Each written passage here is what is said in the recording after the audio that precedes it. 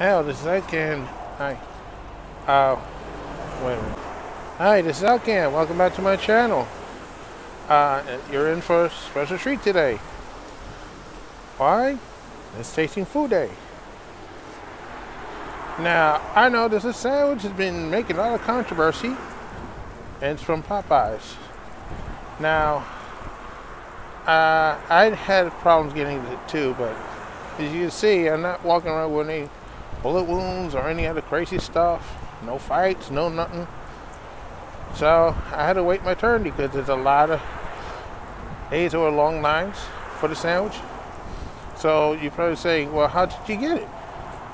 I was lucky today. It's very quiet. I guess the day after Veterans Day, a lot of people uh, work or still celebrating. And by the way, thank you for your services.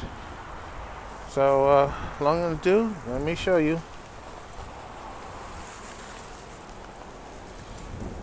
And I'm about to open it right now.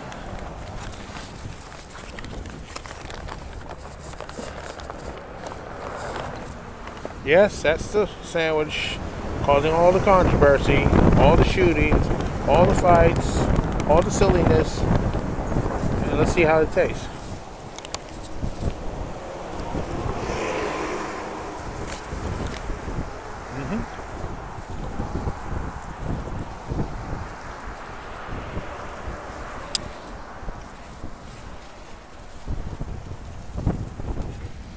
Mm-hmm. Mm-hmm. Mm-hmm.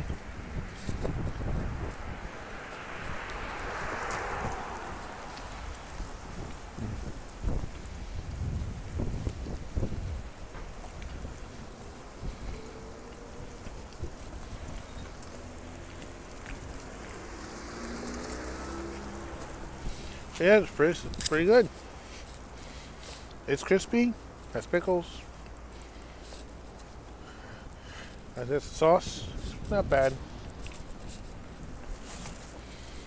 I mean, it's worth the wait, but not worth the fight. So it comes in regular and spicy. So you're spicy lovers. So yeah, I recommend it. Just remember to be patient. If you can't get it that day, there's always a short line when you least expect it. So this is Outcan saying so long for now, and uh, don't forget to stop. And yes, it's a good recommendation How you shut this off?